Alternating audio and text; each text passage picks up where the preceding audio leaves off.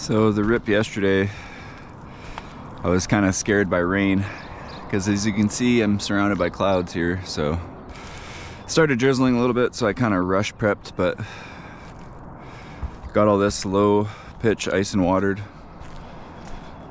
I've got all these valleys. There's seven valleys that go. This one's all the way up. A couple shorties, longer one. Fully, a couple short ones here. So there's seven valleys. Then that skylight. Uh, I'll see how far I get today. I'm gonna try and get for sure all this detail section done. But for now, I'm gonna show you how to do these valleys because these, all these valleys are a little bit different. Like these two valleys are the same, but like this valley here, you know, I've got to start down in here, work my way up, um, and then I kind of have to work across and then work my way up into this second valley.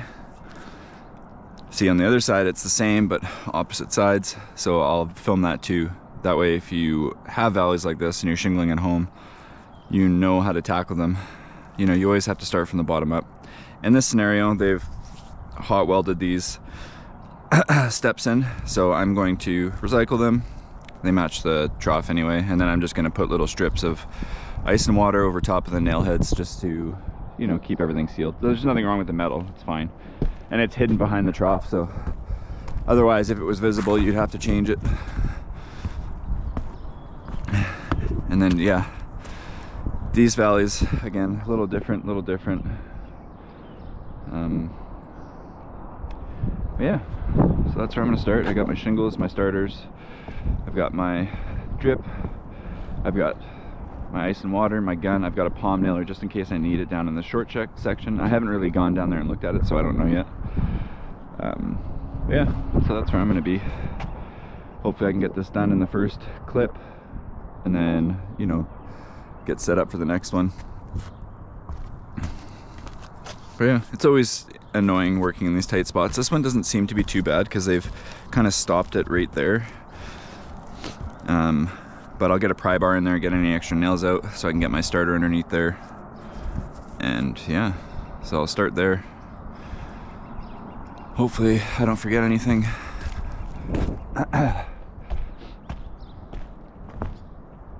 Can't forget these bad boys.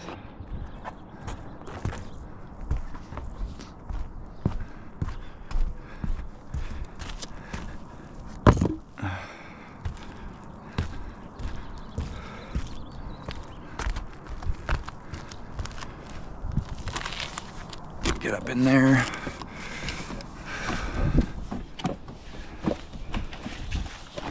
Oh. These collapsible landers are handy, but they're kind of sketchy sometimes. He's got a really nice garden in here, so hopefully I don't damage anything. But I really don't have a choice. I kind of have to get up in here, so. Uh, shit. Maybe I can reach from here It's tricky working and stuff like this. If I can get up in here, not damage any of this. He's obviously been out watering.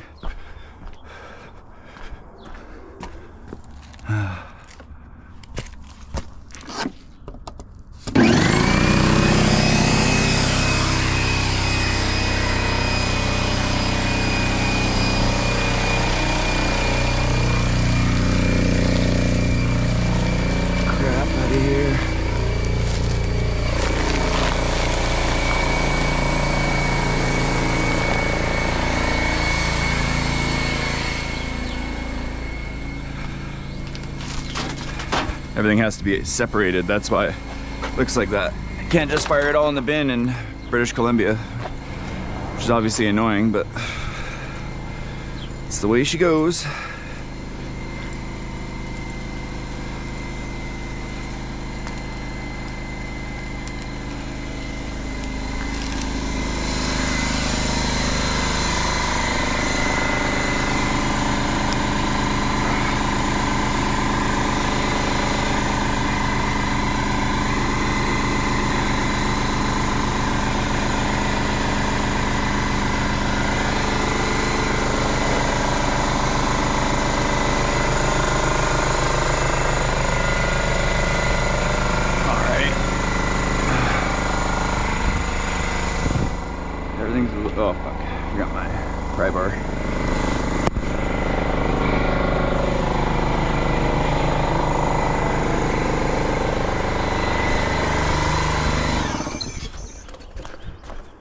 All right. I'll use this one. I like the other one better, but this one will work. I really hate working out of people's gardens because, you know, they put lots of time and effort into them, so it's unfortunate when I have to go stomping through them. But especially retired people, you know, they have a little more free time, so they typically have these hobbies where they make everything look nice in their property. All right. I don't like working this like this on this angle here. I can already see that this is gonna be fun.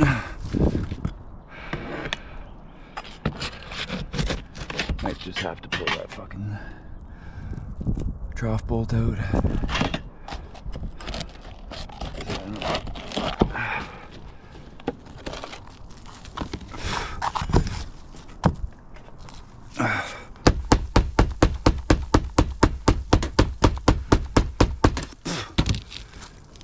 Maybe. Maybe I get in there. Ah. Yeah, this is where I like the other one because I can roll the I can roll the um, pry bar. Ah.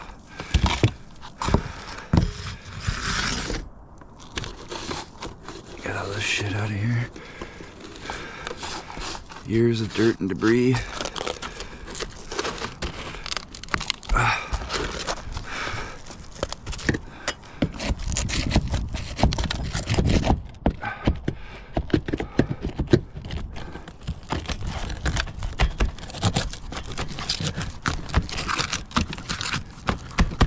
I'll find that other nail somewhere in there, I'm sure.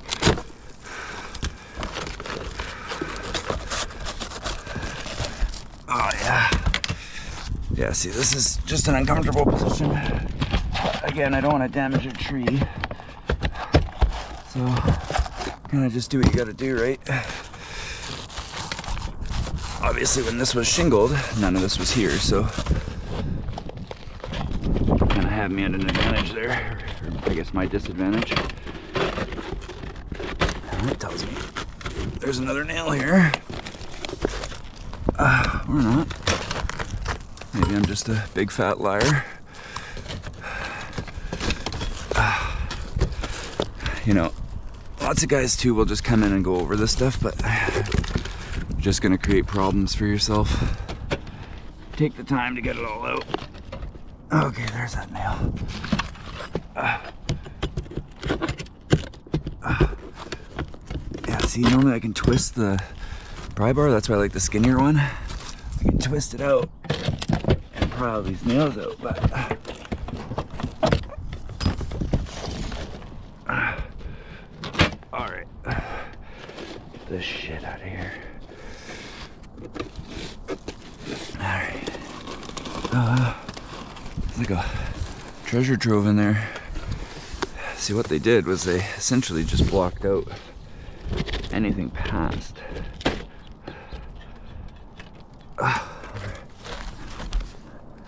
So, got metal coverage there. I've got a little nail down in here. Ah, come on. Come on, baby. Oh, yeah.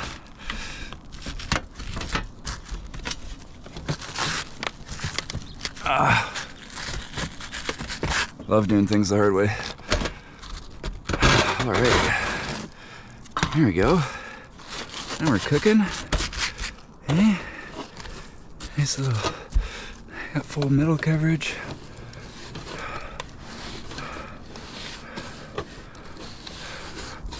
Get this fucking dirt out of here.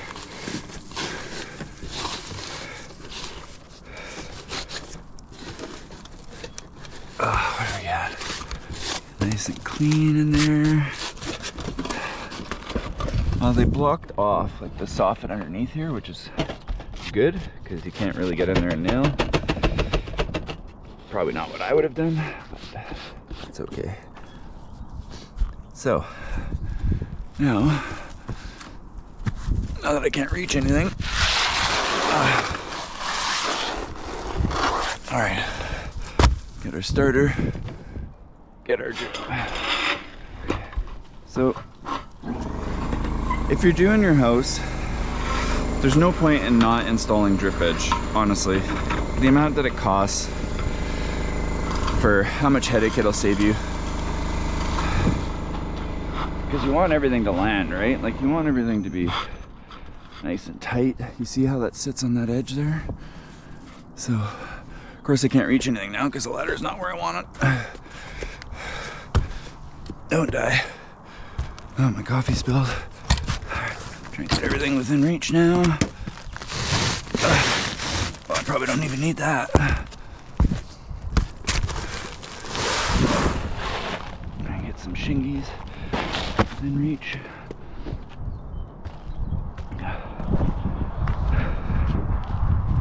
All right, here we go. Here we go. You know, if you're nailing too, anytime you nail anywhere near steps or anything, you know, you want to keep it as minimal as possible. This is just extra preventative measure, right? If you don't need to put a nail in, then don't.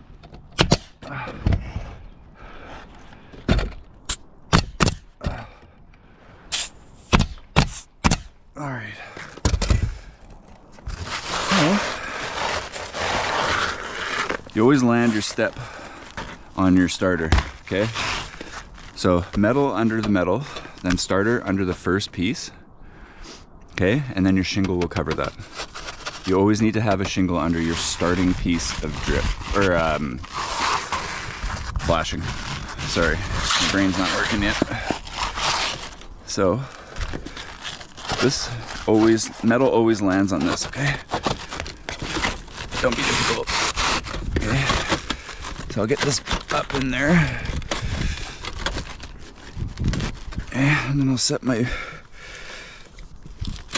set my nice little overhang here.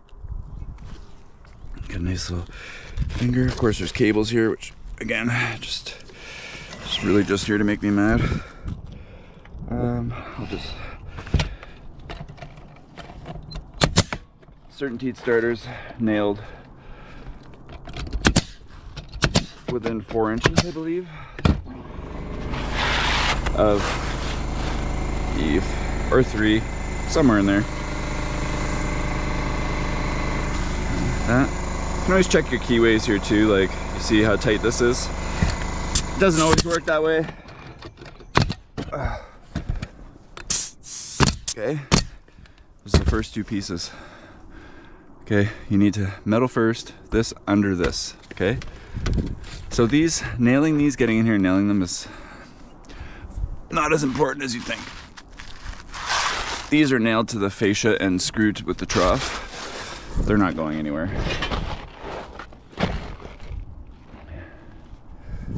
So I won't worry about tarring these or uh, covering these holes because um, these shingles are going to seal in here once they heat up. And I'm not going to put any more holes in it because there's no point. Doing things twice for no reason. You could see when I was ripping it out how tight everything was in here, so I'm not to be worried, too worried about that. Now, essentially, you know, you want to make sure that's tight, okay? Tight up to your metal. Tight up to your metal. Okay, that's shingle one. See, this is good. You want to make sure that this is sitting above this, so it's it's not past your reveal here. So again, don't nail right close. Give it a little bit of space. There's no point because like I said, once those shingles seal, I mean, wind is not going to be able to get up and pull up this trough and these like it's just complete lunacy. These cuts inside, so I flip my shingle over, make my cut, and then my cuts go in. And I put on a little bit of bias because they typically like to run up. So, back here. Okay, tight on the inside, square here. Okay, these are those fucking stupid shingles. You see the bit's a little bit short here, so you gotta be careful when you're shingling because sometimes that happens. And it's kind of, you know, one of my pet peeves, but again, just a manufacturing thing, and, and it's mostly cosmetic. So if it was really bad and really noticeable, then I would change or not use it. But I'm not gonna start turf and shingles just because of that.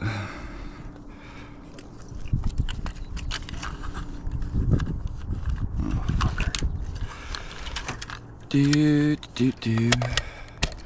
All right.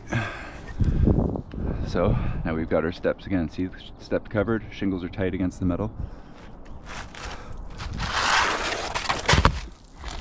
Okay, now we want to take 12 inches off. Okay, each step is six inches, approximately. It's not a perfect science when you're eyeballing it, but. Oh, you fucker.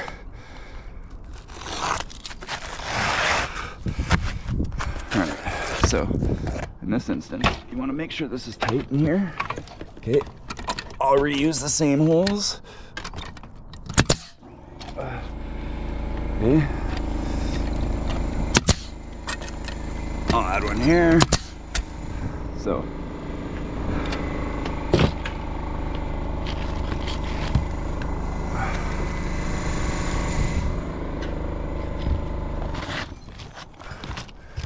You know, in these sections, if you're doing this at home, you know, take your time. This is not, you know, this is not a marathon. This is I mean, this is not a sprint. Sorry, I'm, I'm still waking up, I guess. I'm still. Okay. Make sure those are sitting nice. You see, there's a little gap here, which I don't particularly like, so that means the shingle's running away. So I'm gonna trim this the other way so I can get it in there tight.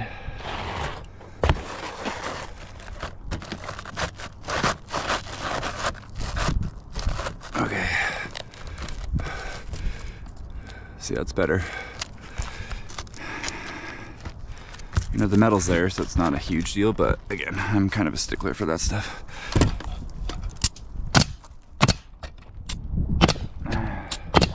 I nail up just to give it a little bit more structure and strength in this. What you're gonna wanna do here, okay? Now we're at this edge, okay? But remember, you have to work both of these at the same time. So, ah, this is such an awkward position. What I'm gonna do here is get a little piece of tar paper, or uh, ice and water, sorry. Uh, fucking awkward.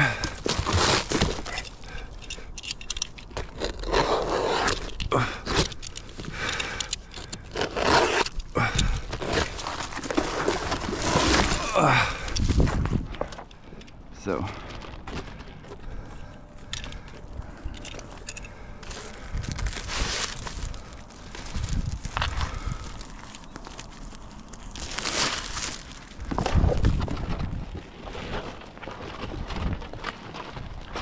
So we'll tuck a little piece up under here. Under water flows down, so kind of got to make sure you want coverage, right? Like you want coverage over the metal here on the joint of the valley. See? Yeah, that's what I'm talking about. Okay. So that way when this metal comes down, it lands on here, etc., etc.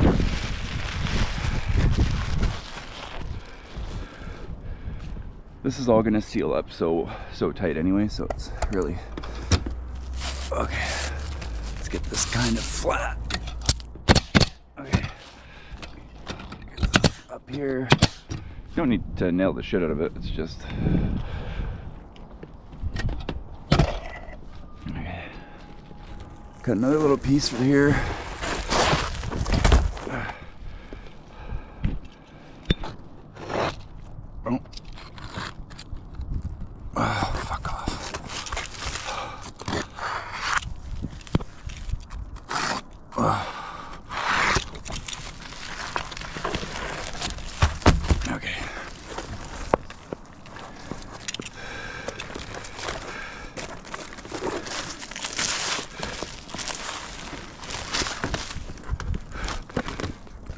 This under.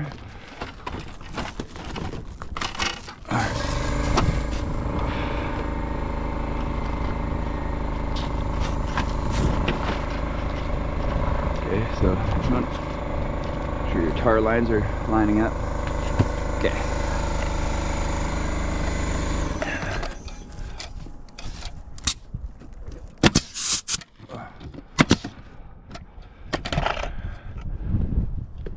So, I have to trim this back a touch.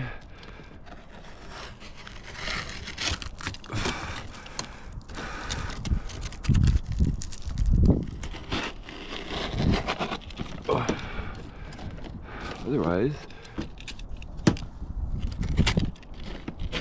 oh, you're annoying. Okay. So normally I'd put a full piece in, but for this video I'm just gonna trim the drip to show you how I land this valley.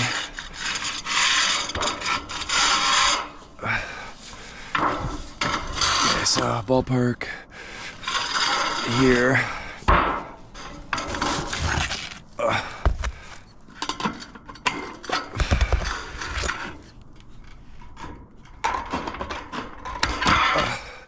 All right, that out of the way. So, because I have my shingle here and my coffee, what I want to do is to get this to fit as tight as possible. So, take my point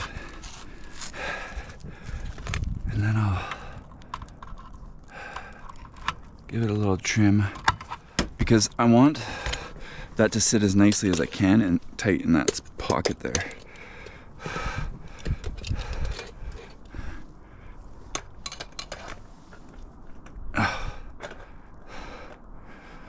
I'll probably even go one more up, one more shingle up because I'm gonna open these valleys.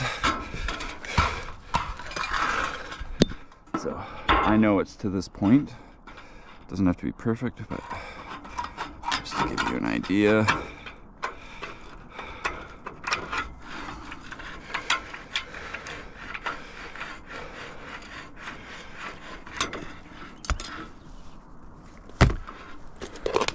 I'm carrying that thing for no reason. Okay.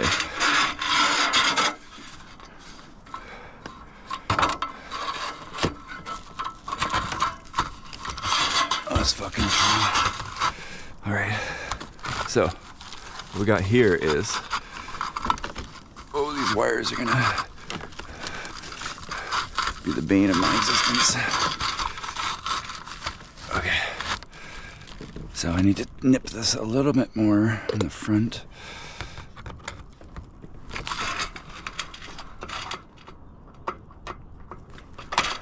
Okay. Ah, that's what we're talking about there. So now when this valley comes down, it lands on this drip edge, right? Which lands on ah, the flashing. So if you have your wall flashing underneath, what you want, right? So you got flashing, flashing, flashing, shingle, metal on top of shingle, and then valley on top of shingle.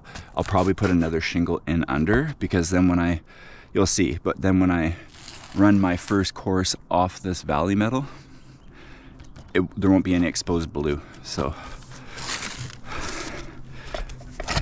so again, I don't typically, I mean, if you can, and nail up just so it's not sitting right on the edge. I mean, it won't, it's all gonna get covered with metal because I'll run my valley past. So these are all nice and tight.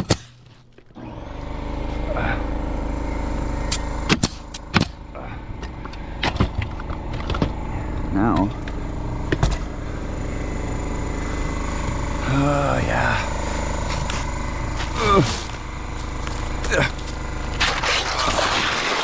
All right. Let's see what we got here. Let's see what we got. This shingle, because this one's going. Get out of here. So for this shingle, you see the coverage here now? So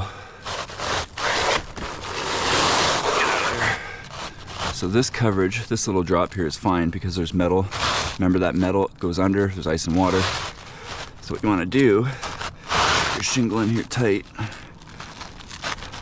Probably trim that shingle after just because there's so much excess. But get my run straight. Okay. Now when I run, I'm gonna try and get this fucking thing. Oh, that's fine. I'll leave it like that. So you want it tight in here, right? Right. Okay. Now.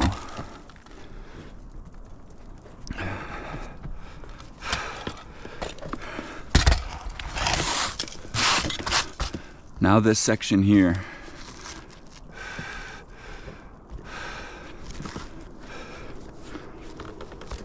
This I mean, I could have trimmed this up, but it's black. I don't really, I don't really care, being honest.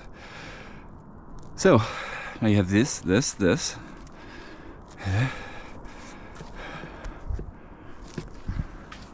Probably should have ran my starter under that, but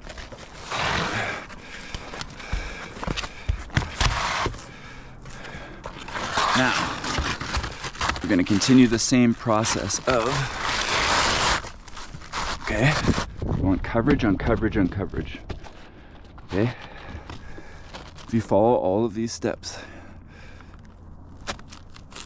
you will have watertight valleys. Okay. Now this overhang, when this valley metal runs down, it's going to be out here. So the valley is going to launch this water kind of into the trough area. Down onto the metal, it's covered by all of this metal, the shingles, these two. So there's coverage everywhere.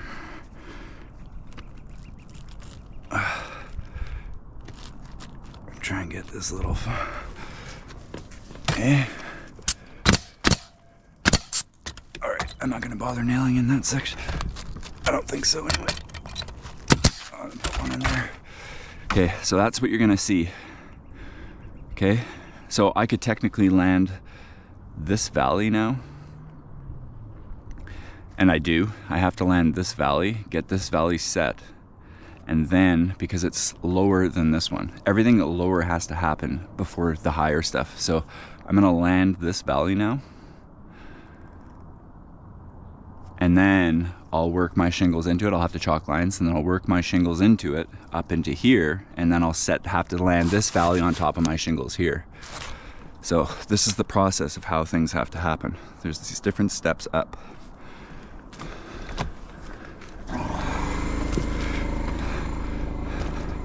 So I'll grab some metal.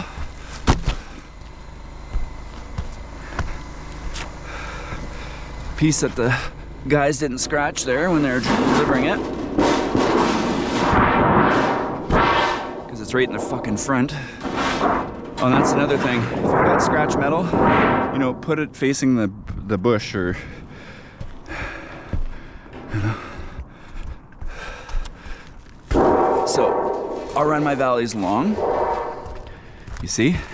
I want to run my valleys long and then I want to trim them back. Okay? I want full metal coverage on the bottoms of my valleys.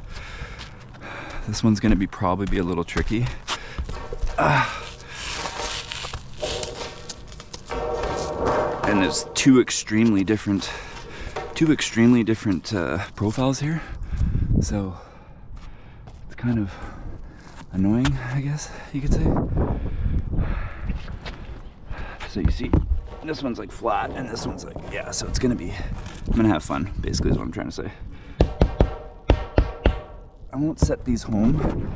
Kind of want to get a good gauge of where I'm sitting. Okay, let's go underneath.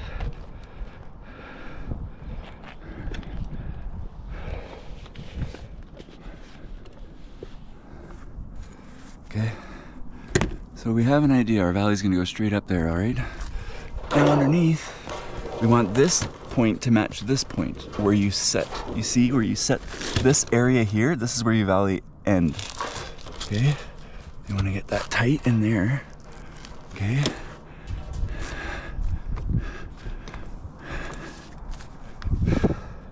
So now that we got that set, you don't want to nail low because you're still working in that area. So what you do, come up here. Now you know. Valley doesn't feel so weird. Let me try.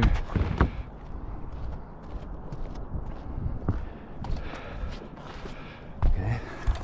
Yeah, this valley's gonna be a fucking little bit of bitch. So you kind of have to force it down when you have these extreme angles. And you might have to nail a little lower than you would like to. That's just the way it goes.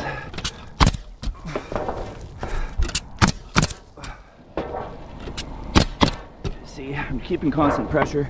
Try and keep the center tight on the valley. There. So that's just, you know, see it's a little bulgy, but that there's really nothing I can do because it's such a, an extreme. This is like a 212 and that's like a 612. So now that I got that,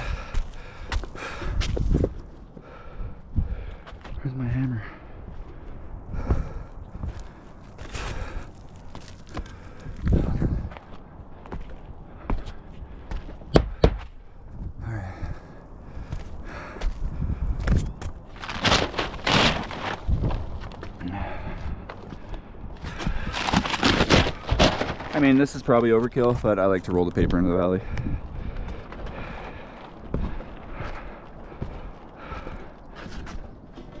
All these fucking things.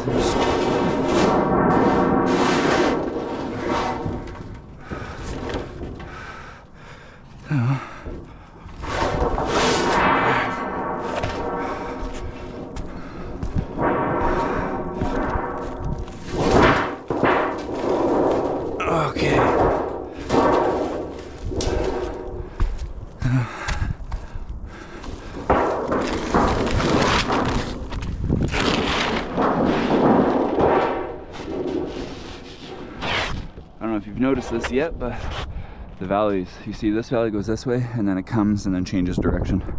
So that's, you know, that's always fun. But I gotta keep as much of this metal on so when I lap it, it's it's got some uh, something to connect to. I don't want to bend it. So get out of there. Oh, what I'm gonna do is just take a little trim.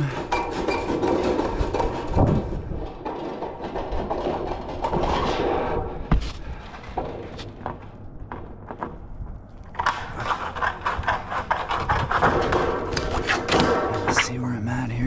That should be okay. We'll see. We'll see. See what's going on.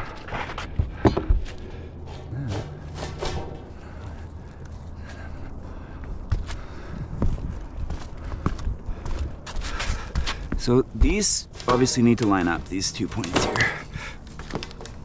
So I get it as tight as I can. Only set one side. Do not set both sides or you're gonna be mad. Don't hit your hand with the hammer either. Hurts.